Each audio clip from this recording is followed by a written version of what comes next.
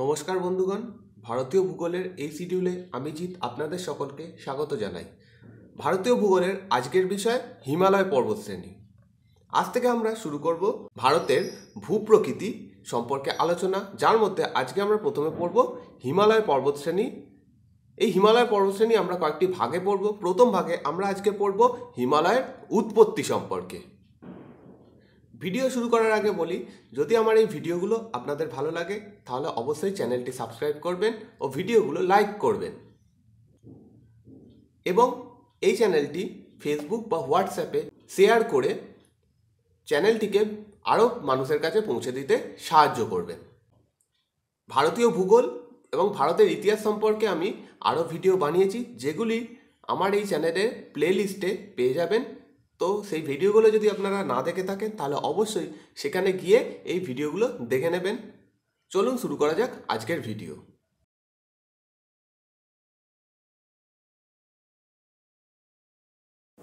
ভূপ্রকৃতিগত দিক থেকে আমাদের ভারতকে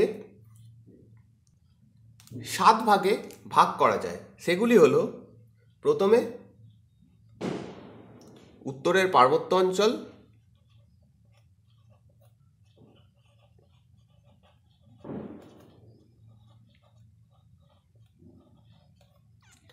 দুই উত্তরে সমভূমি অঞ্চল।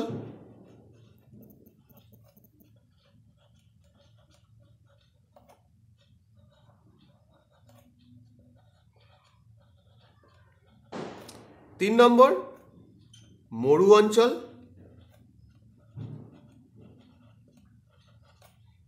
চার মধ্য ভারতের উঁচু ভূমি?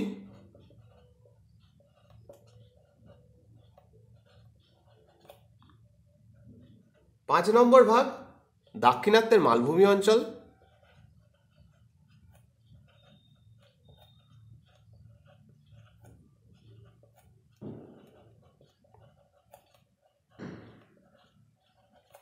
ছ নম্বর ভাগ উপকূলে সমভূমি।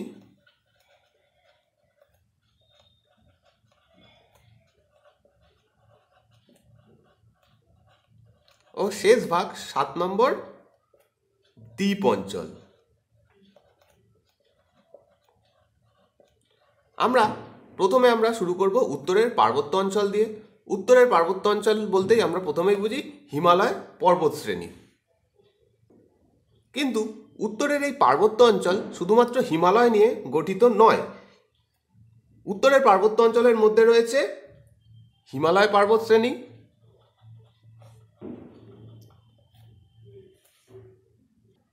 জম্মু ও কাশ্মীরে একটি পর্বতশ্রেণী রয়েছে, যেটির নাম কারাকোরাম।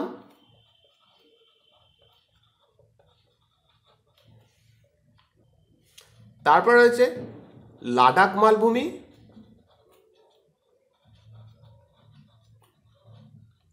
এবং রয়েছে উত্তর পূর্ব ভারতের পার্বত্য অঞ্চল। তো উত্তরের পার্বত্য অঞ্চলকে এই চারটি ভাগে ভাগ করা যায়। যার মধ্যে আমরা প্রথমে পড়ব হিমালয়, পর্বত শ্রেণি। প্রথমে আমরা জেনে নেব এই হিমালয় পর্বত শ্রেণির কিছু তথ্য।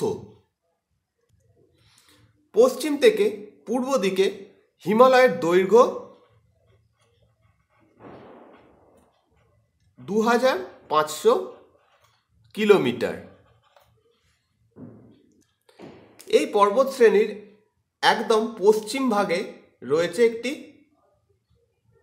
পাহাড়, যার নাম নাঙ্গা পর্বত।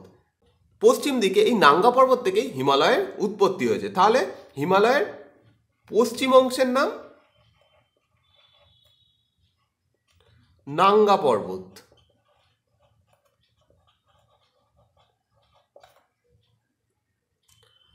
আর পূর্ব দিকে ঠিক এইরাম জায়গায় অরুণাচল প্রদেশ। এইরাম জায়গায় রয়েছে আরেকটি পর্বত, যেটির নাম নামচা বারোয়া তো পূর্ব দিকে নামচা বারোয়া পর্যন্ত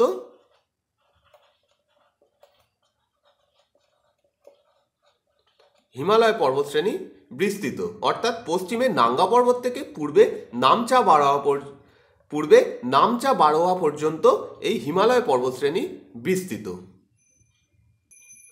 সমগ্র এই হিমালয় যতটা অঞ্চল জুড়ে রয়েছে, সেই সমগ্র অঞ্চলের ক্ষেত্রফল হচ্ছে পাঁচ লক্ষ বর্গ কিলোমিটার। হিমালয় পর্বতশ্রেণী পশ্চিম দিক অপেক্ষা পূর্ব দিকে সংকীর্ণ হয়ে গেছে এবং যার ফলে পূর্ব দিকের হিমালয়ের পর্বতগুলি পশ্চিমের থেকে কিছুটা উচ্চতায় বেশি।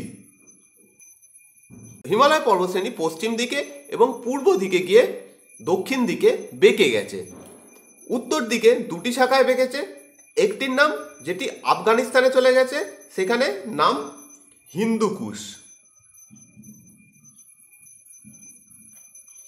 এবং অপর একটি শাখা যেটি পাকিস্তানে চলে গেছে, সেইটির নাম সুলেমান। আবার তেমনি পূর্ব দিকে এসেও এভাবে দক্ষিণ দিকে বেঁকে গেছে, যেগুলি ভারতের মধ্যে বিভিন্ন নামে পরিচিত। যেমন মিজোরামে মিজো পাহাড়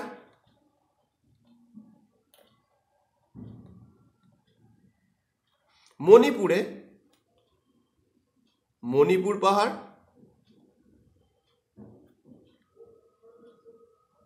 নাগাল্যান্ডে নাগা পাহাড় এবং অরুণাচল প্রদেশে পাটকই বুম।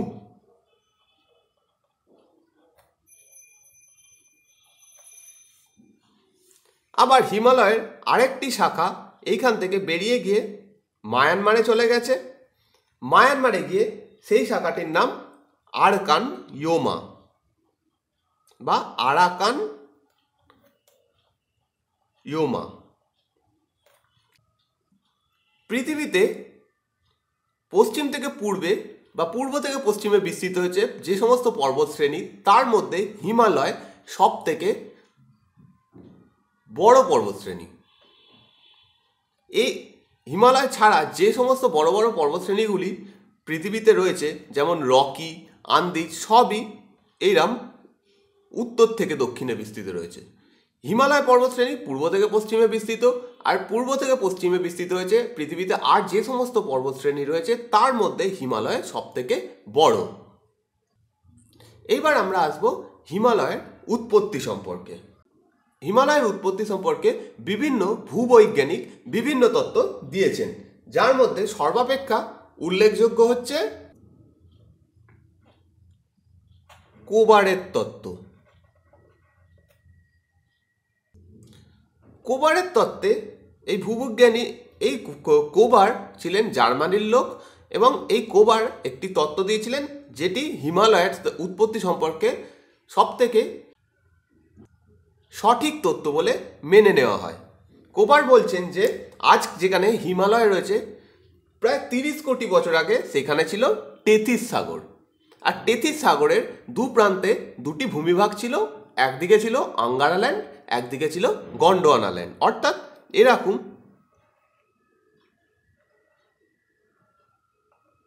এটা আঙ্গারা ল্যান্ড,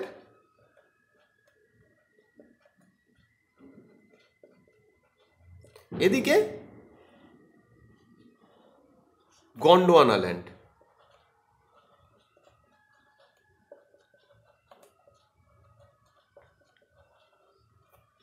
আর এর মাঝখানে ছিল টেথিস সাগর। অর্থাৎ এইখানে আজকে হিমালয় রয়েছে, এই জায়গাটায় ছিল টেথিস সাগর, এই দিকটা হচ্ছে গন্ডোয়ানা ল্যান্ড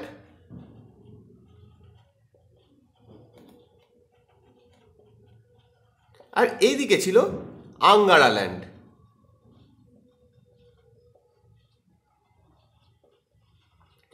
এবার এই গন্ডোয়ানা ল্যান্ড থেকে এবং আঙ্গারা ল্যান্ড থেকে প্রচুর নদী গিয়ে এই টেথিস সাগরে পড়তো। এই জায়গাটা তখন ছিল টেথিস সাগর। প্রচুর নদী গিয়ে টেথিস সাগরে পড়তো এদিক থেকে এদিক থেকেও।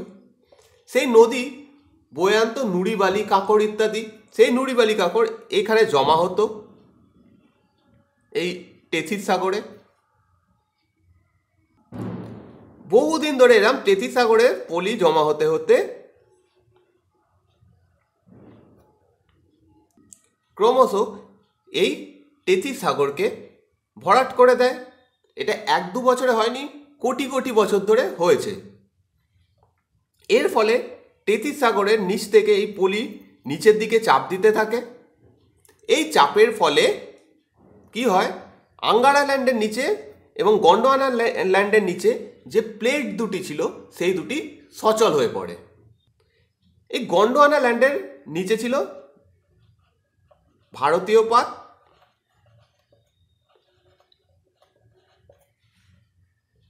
এবং আঙ্গারা ল্যান্ডের নিচে ছিল এশীয় পাত বা ইংরেজিতে যাকে বলে এশিয়ান প্লেট। এবার সচল হয়ে যাওয়ার ফলে এই প্লেটটা এদিকে চলতে শুরু করে এবং এই প্লেটটা এদিকে চলতে শুরু করে। ফলে এখানে যে পলিগুলো ছিল, সেই পলিগুলো চাপে এরমভাবে উঠে যায়। দিয়ে হিমালয়ের সৃষ্টি করে। এইটা হচ্ছে হিমালয়। এই প্লেট দুটো এইভাবে চাপ দেওয়ার ফলে ঠেলে উঠে যায় এই পলিগুলো, যার ফলে এই হিমালয়ের সৃষ্টি হয়। এই হিমালয়ের গঠন হয়েছে অন্যান্য পর্বতগুলির থেকে অনেক পরে। তাই এই হিমালয় একটি নবীন পর্বত। হিমালয় একটি নবীন ভঙ্গিল পর্বত। বা ইংরেজিতে যাকে বলা হয় ফোল্ডেড মাউন্টেন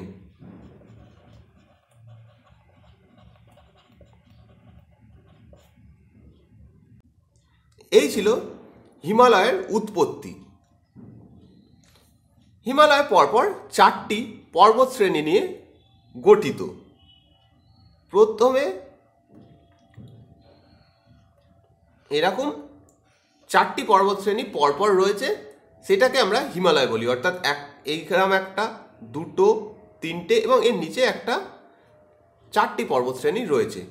একদম বাইরের দিকে, অর্থাৎ ভারতের উত্তর দিকে যেটি রয়েছে সেটি হলো টেথিস হিমালয়,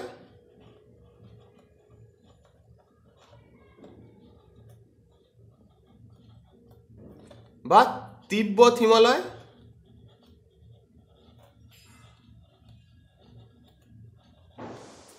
যাকে ইংরেজিতে বলে ট্রান্স হিমালয়। তারপরে রয়েছে হিমাদ্রি?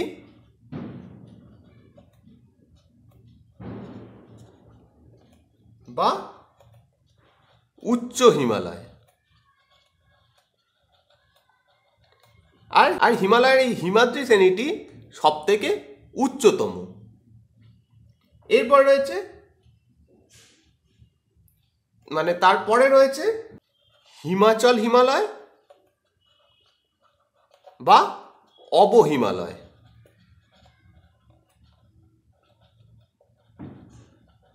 এবং শেষ ভাগে, অর্থাৎ ভারতের একদম উত্তরেই রয়েছে শিবালিক হিমালয় বা বহি হিমালয়।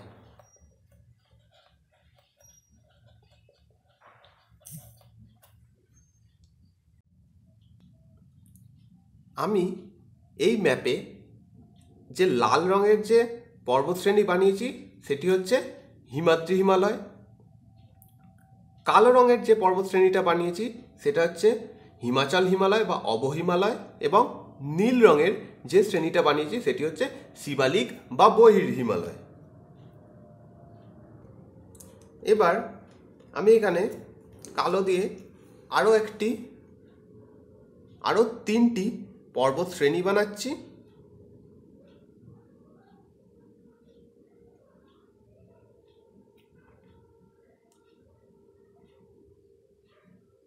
এইটা হচ্ছে টেথিস হিমালয় বা তিব্বতীয় হিমালয়, যেটাকে ইংরেজিতে বলে ট্রান্স হিমালয়। এই ট্রান্স হিমালয় বা তিব্বত হিমালয় আজকে আমরা আলোচনা করব। আমি এখানে আলাদা করে এই তিব্বত হিমালয়ের তিনটে শ্রেণি আঁকছি। অর্থাৎ এখানে যে তিনটে আছে, এই তিনটে এইভাবে আছে, জম্মু কাশ্মীর রাজ্যে। জম্মু কাশ্মীর রাজ্যে এরকম পরপর তিনটে পর্বত শ্রেণি রয়েছে, যার উত্তর থেকে যদি আমরা আসি, প্রথমে আসবে কারাকোরাম শ্রেণি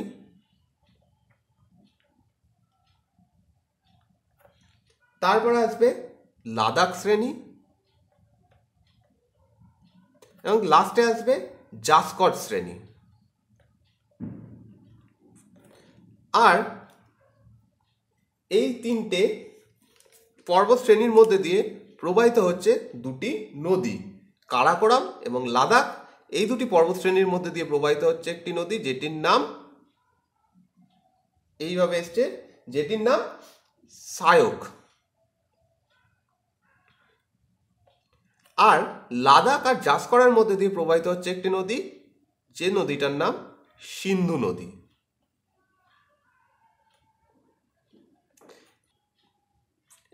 এই সায়ক নদী, এই সিন্ধু নদীরই উপনদী। এবার আমরা আলোচনা করব টেথিস হিমালয়।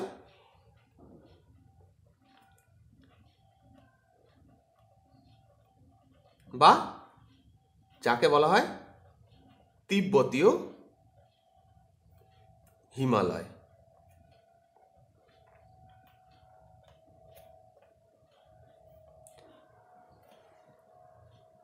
তেতিস হিমালয়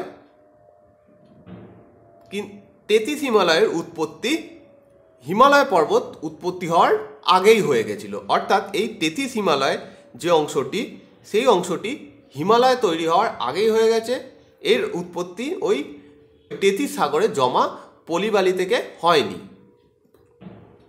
তেতিস হিমালয় পরপর তিনটি পর্বত শ্রেণি নিয়ে গঠিত। একদম উত্তরে রয়েছে কারাকোরাম শ্রেণি, মধ্যিখানে রয়েছে লাদাখ এবং একদম দক্ষিণে রয়েছে জাসকর শ্রেণি। তেতিস হিমালয় পুরোটাই জম্মু কাশ্মীর রাজ্যে অবস্থিত। এই, এবার আসব আমরা কারাকোরাম পর্বতশ্রেণীতে।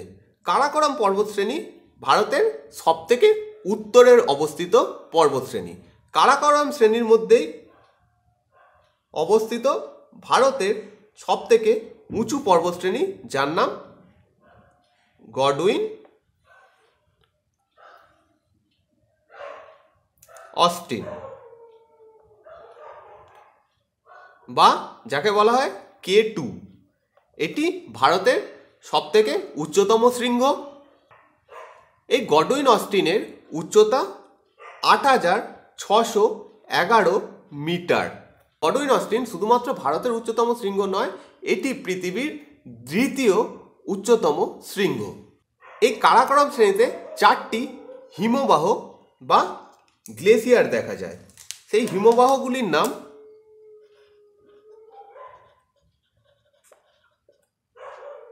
এক নম্বর সিয়াচিন। দ্বিতীয় হেসপার।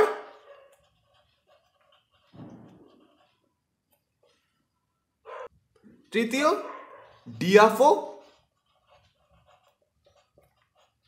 এবং চতুর্থ বাল্টোরা। এই সিয়াচেন, হেসপার, ডিয়াফো, বাল্টোরা এই হিমবাহগুলি প্রত্যেকটি কারাকোরাম শ্রেণীতে অবস্থিত। কারাকোরাম শ্রেণি পূর্ব দিকে বিস্তৃত হয়ে তিব্বতে চলে গেছে এবং তিব্বতে গিয়ে এই কারাকোরাম শ্রেণির নাম কৈলাস পর্বত।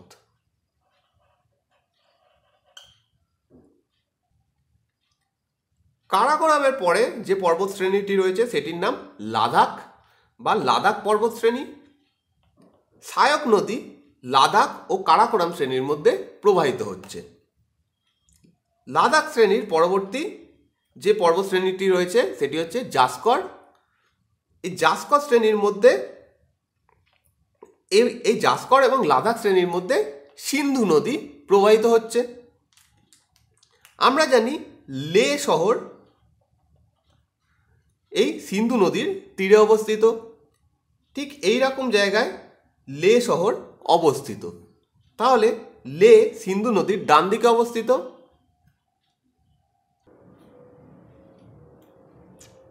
এই ছিল টেথিস হিমালয় সম্পর্কে আলোচনা।